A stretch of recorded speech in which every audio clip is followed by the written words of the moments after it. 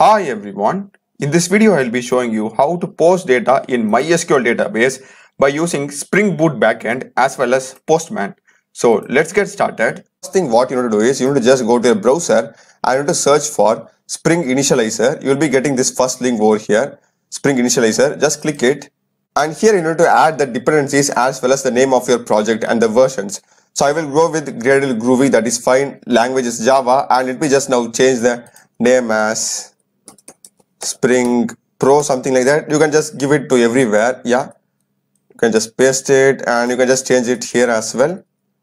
Yeah this is totally up to your choice and jar is fine and java 17 is works for me. So these are fine now. So we will be using some dependencies over here. So just click on add dependency. And first thing we need to search for spring web. Just add it spring web. And i'll click again add dependency. And next one is going to be the spring data jpa so it's going to be spring data JPA here we will be having.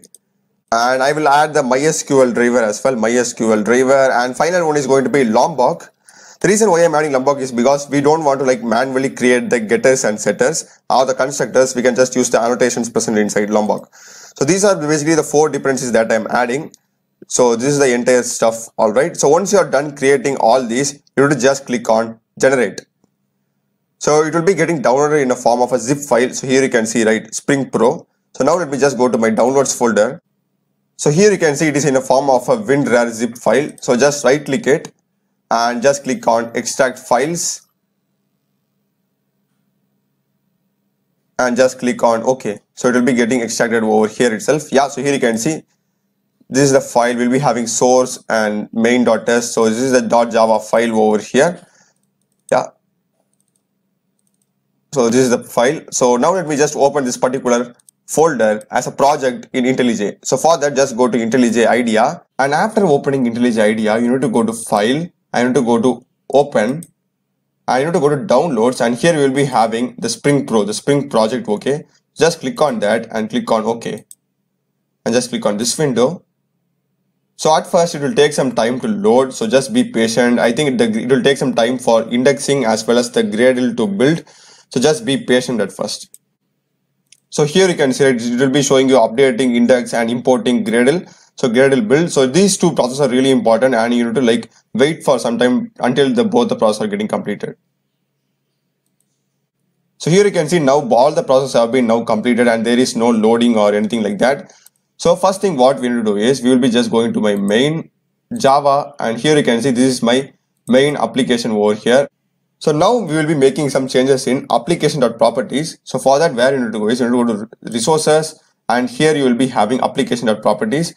Just double click it and here you will be having the application.properties. So first we will be adding our local URL of our MySQL database. So it's going to be spring dot data source dot URL equal to jdbc colon mysql colon slash slash localhost colon 3306 slash and next you need to specify your database name that is going to be present in your MySQL workbench. So I will just name it as new DB and you need to specify colon 3306 because this is not like the random port number. This is the port number where MySQL workbench is running. So be specific to that.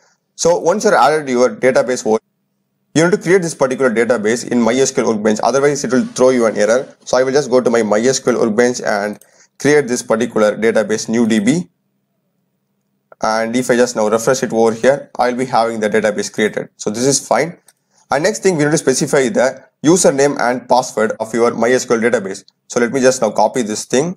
So it's going to be spring.datasource dot username I to specify the username which is root for me. This may vary from person to person. And again spring dot data source dot password. So you need to specify your password. Let me specify mine. So this is fine. These are some of the credentials that we need to give over here. So after this we will be using some connections or properties for our connection. So it's going to be spring dot jpa dot show hyphen sql equal to true so this command is basically like used to display the SQL command in our console so we, i told you like we will be creating a table at the end so the creation of that particular table and its SQL command will be displayed at the console. So that's the reason why we are adding this particular property. And next thing are going to be some of the default properties. Okay, it's going to be spring dot jpa dot generate and hyphen ddl equal to true. Next one is going to be spring dot jpa dot hibernate dot ddl dot auto equal to update and final thing let me just now copy this and paste it dot properties dot hibernate dot dialect equal to org dot you'll be having hibernate dot dialect dot MySQL8 dialect. Okay so here to be careful m is capital y is small sql or caps 8 d is capital and dialect. I so once you're done adding all the values in application.properties, you need to come to the folder where you have your main Spring application, okay? So by default, the name would be com dot, it will be your project name, okay? So you need to just right click over here and we will be adding like four folders or directory. So the names of the folders is going to be entity, repository, controller and service, okay? So it will sound confusing. I will just create them first. So it's going to be new and here we will be having an option called as package over here. Just click it. So first I will be creating the entity folder okay? Just capital E type entity. Just hit enter okay? So after that we'll be getting this entity. So don't make any changes okay? Don't rewrite that particular thing okay? So again after right clicking I will be going with package. So what I meant was here we'll be having a dot okay? So don't just remove that. And next thing is going to be the repository. Yeah. And next one is going to be controller and the service it's going to be the service.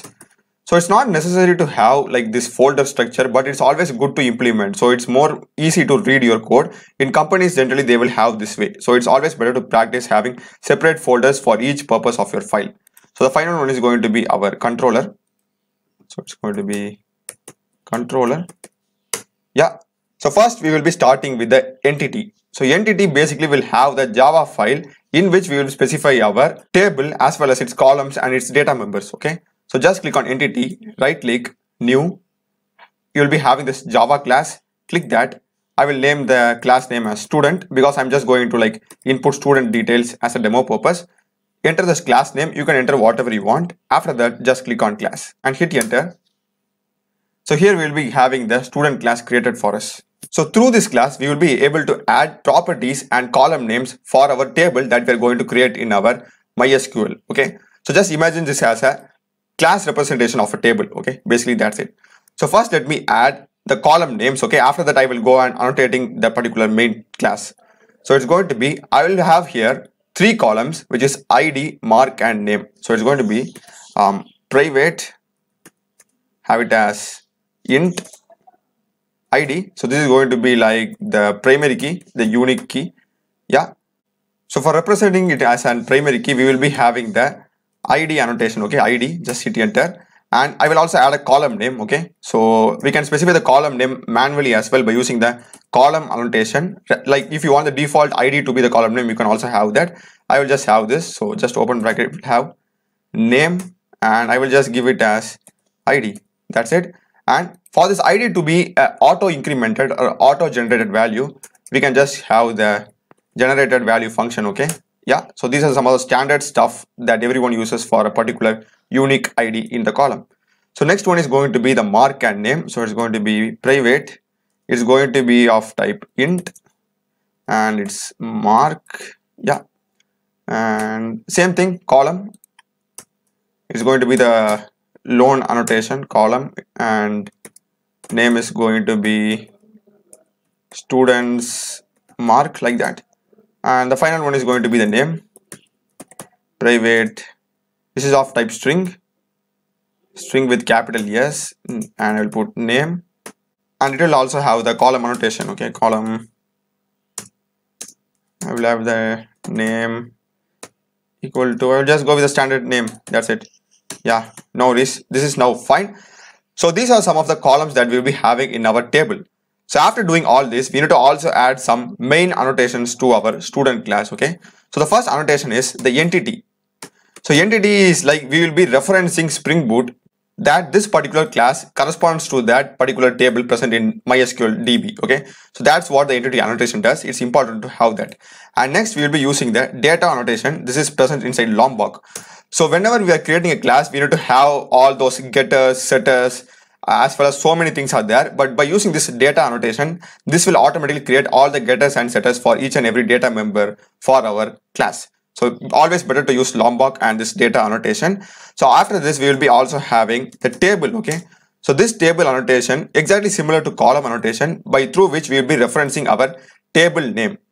So this particular name that we will be specifying over here is going to be the table name in our MySQL DB. So I will just have a name it as, I will go with student underscore DB, something like that.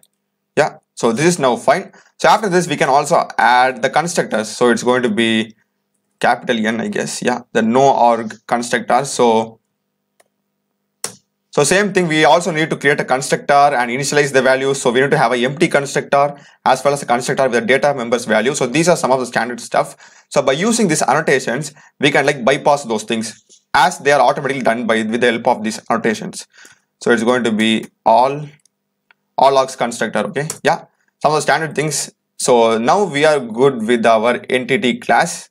So after this we will be creating a repository interface. So it is not a class it is an interface. So which is also used to basically like reference to this particular entity so it is like this okay? Every entity of a table in spring boot will have a repository of its own through which we will be able to execute queries and other stuff okay? So just imagine it as that way.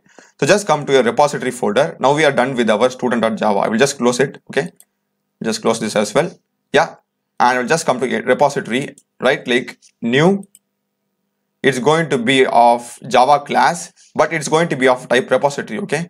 I will just name it as student repo okay? It's also always good to have in camel case. Just hit enter.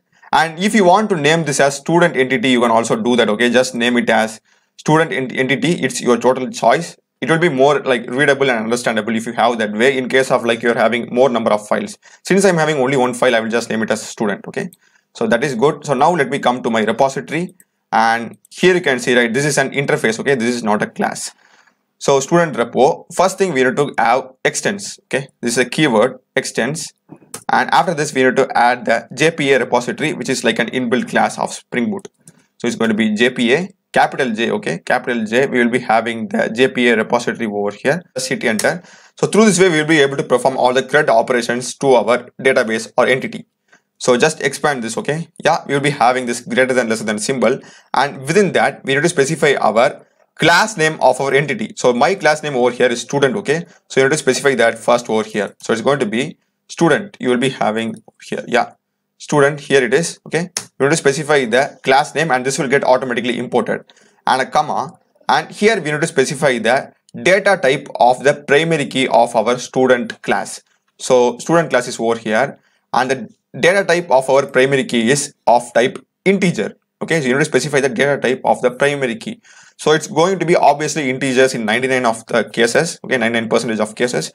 So just specify the data type of the primary key it is integer okay so that's it. Now we are done with our repository and entity is also done. Repository is done. So next thing we have only service and controller. So what service basically does is that it allows us to perform the post, save, put, fetch, all the operations. Okay. So I'll just go to service, right click it and new and this time it's going to be a plain java class not any interface or something so i will just type it as student service always good to use camel case okay use camel case everywhere okay and i will just now hit enter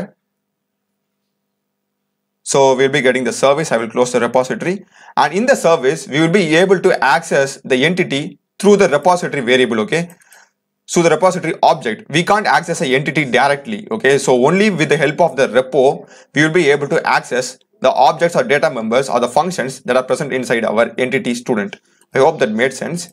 So in the service, the first important thing is we need to annotate the service. Okay, so it's going to be at service annotation to reference it as a service class. So after this, we will be creating our reference variable or object of our repository. So as I told you earlier, we will be only able to access the student class details through the repository object, okay, with this help of the object of student repo. So I will create that, okay. So it's going to be private, the name is student, student repo. Yeah, so I will name it as the small s, okay, student repo. Yeah, this is a naming convention, okay. Whenever you are creating a variable, the first thing should be the class name itself and after that the variable name should be the, like the smaller letter of that particular class name itself. So it's like a common naming convention used. So we will be able to access only the values present in our main student class with the help of this variable or object. Okay. Also you need to annotate with this auto wired. Okay. Yeah. So this is used for basically like dependency injection or referencing our repository variable over here. So it's, it's you, you need to use this auto wired otherwise you will be getting an error. Okay so now we are done. So next thing we will be creating a function for saving or posting the data. Okay because that is our main aim in this video. Okay we need to post and save data in the database so for that we'll be creating a function. So it's going to be public you need to create this create it as public okay? Because we will be using this function in our controller okay? Controller will be having a java class and we will be using that particular function over there. So it's always good to have our function as public. And the return type of this particular function is going to be of student okay? Student means this particular class okay? This main entity class. So it's going to be of type student. And next is the name of our function i will have it as save details you can name it as anything you want and the function is going to have only one parameter that parameter is going to be an object of the class student so what I meant by object is that is going to be like these things ID, mark and name. So these are like data members and this particular parameter will have all these values as an object inside it. So it's going to be student.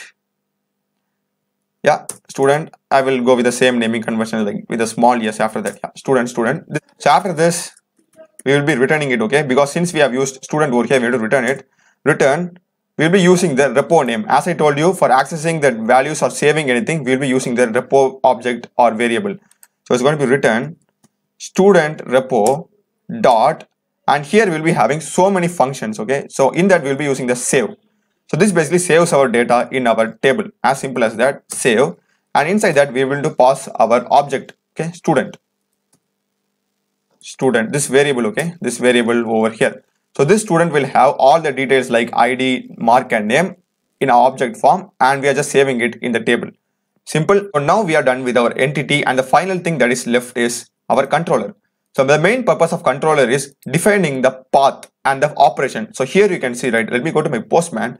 So here you can see, right, we will be having so many operations, post, put, fetch and delete. There are so many operations. And we will be also having this particular path or the route okay? Add student for post we will be having for put we will be having put delete we will be having slash delete.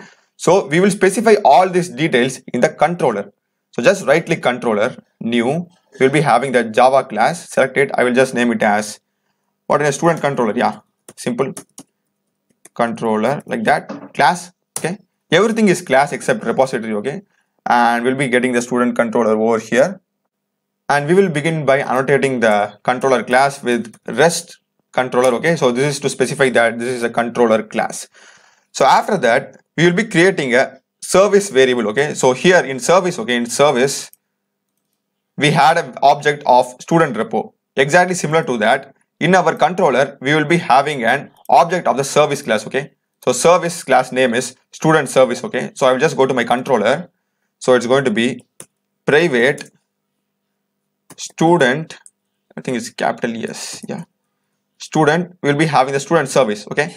So we'll be creating a variable of our service okay? Student service. I hope that made sense this one student service yeah? And you can name it after that it's going to be the same thing the small s student service yeah? And we will also annotate with with auto wired exact same thing for referencing it yeah? So we are done and after this we'll be creating another function so here the main route or the path for our post operation will be specified. So as I told you, right, this particular path needs a function. Okay, every path will have a function to its own. So I'll just come here. The function, as I told you, it's going to be public. Okay, in most of the cases, public, and it's going to be of the type student. Okay, student as usual, the main entity, and it's going to be. I will have it as add details or post. Okay, post details. Okay, post details. That's going to be the name, and after that, this will take an argument. Okay, so this is this argument is going to be of type student. Okay, same student. Okay, same student everywhere. Student and the smallest student okay but we need to also add a particular annotation which is at request body okay so the reason is because we will be sending data over here okay we will be sending data from our postman so where is that this raw yeah so we'll be sending a json data from our postman and with the help of this request body that particular data will be fetched by the student object okay? So once we are hitting that particular path this particular data will be fetched by this particular function okay? So i will like add the path and it will make more sense after that. So in this in this function we'll be having at post mapping. So to reference that this particular function will handle the post operation in this class or controller. So we need that post mapping. So in general we will be using post mapping for post operations. So this will take the path so i will go with add student okay? So now I hope it will make more sense. So this add student will come over here, okay, will come over here after this port number slash that particular add student will be coming here. So when I send the data as a request, this particular data will be then caught by this particular request body of student, okay, then this student will have basically these details. So I hope now it will be clear for you.